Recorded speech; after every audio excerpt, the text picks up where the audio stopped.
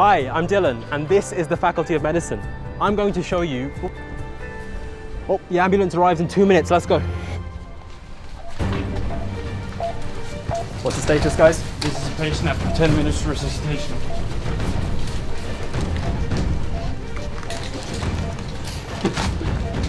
Okay, we're going to move the patient. Three, two, one, go.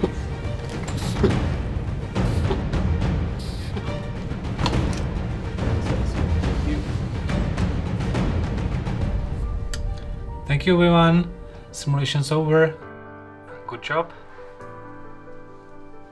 Well, this is our simulation hospital, or SIMU as we call it.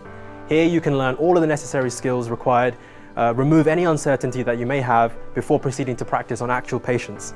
Um, there's nowhere quite like this in Europe. It's a truly one-in-a-kind facility, um, and it's an integral part of the medical curriculum. But to get to this phase, you'll need to have a strong theoretical basis. We have a fully equipped library here at campus, and I think you'll be spending a lot of time studying here. But that doesn't mean that you can't make yourself feel comfortable while doing so.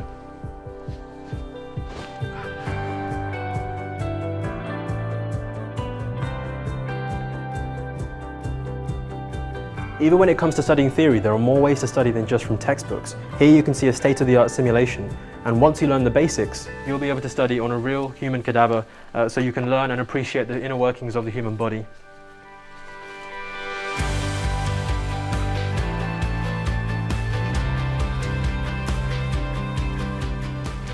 And we have many cafes and bistros all across campus, even on a bridge.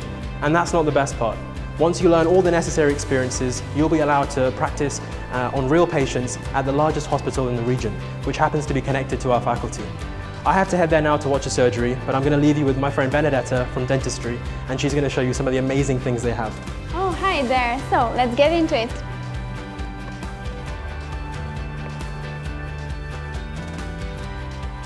We have put much work into creating the perfect space for dentists for practice all the necessary skills. In this room, we learn all basics of cavity preparation on our Mr. Smith.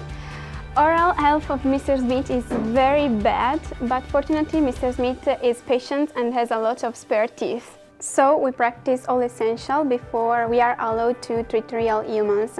And even before that, we practice on ourselves. So, how have you been? Yeah, good thanks. I saw some really interesting surgeries. Wow, amazing. Yeah, and how was your day? I have fun with, with Mr. Smith again. Oh, fantastic. Yeah, yeah, yeah, very fun. And still we haven't been able to show you everything here at the faculty. So why don't you come and check it out for yourselves? And I hope to meet your son. And now? And now we're going to go and get some lunch. Yeah, sure. Bye.